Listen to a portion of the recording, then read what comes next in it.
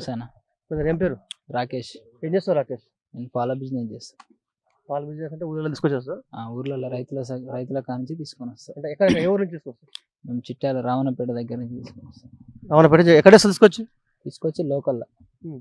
Local అంటే ఎక్కడ? లోకల్లో ఇట్లా మన మిల్క్ సెంటర్లు ఉమ్. స్వీట్ హౌస్లలో పోస్తాం. ఉహు. ఉమ్. అంటే రోజుకి ఎన్ని లీటర్లు సేకరిస్తారు రాకేష్? రోజుకు రెండు వందల లీటర్లు వస్తాయి. ఉమ్. అంటే రోజు డైలీ లెక్క ఉంటుందా లేకపోతే నెల లెక్క?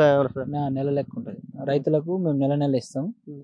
మాకు ఇక్కడ ఇలా ఉదయం పోస్తాం కదా సాయంత్రం మేము డబ్బులు తెచ్చుకుంటాం.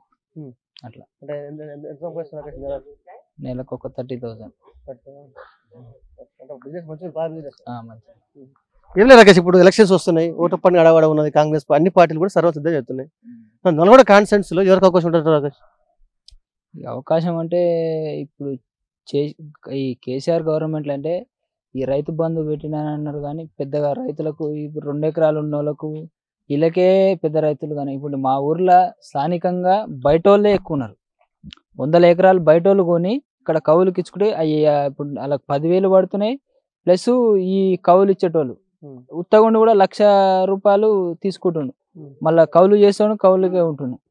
అట్లా రైతులకు అసలు రైతు అనేది రైతుకు ఇప్పుడు రైతు కష్టం చేసుకోవడానికి రెండు ఎకరాల కన్నా ఎక్కువ ఏం లేదు.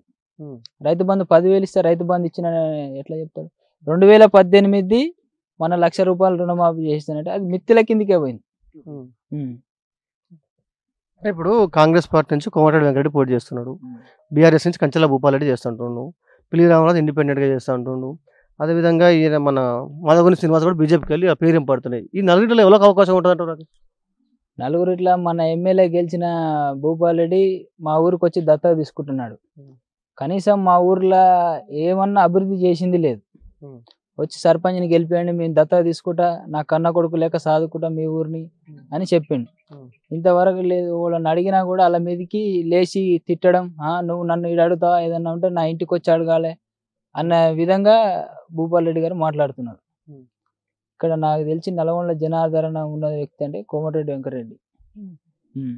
ఇంకేదన్నా పది రూపాయలు సాయం చేయాలన్నా ఎవరైనా సచ్చినా బతికినా కొద్ది ఆపదలు ఉన్నా కూడా వెంకరెడ్డి గారు సాయం చేస్తారు. వెంకటికి అవ- వెంకటికి అవకాశం ఉందంటావు అవకాశం. ఉన్నది.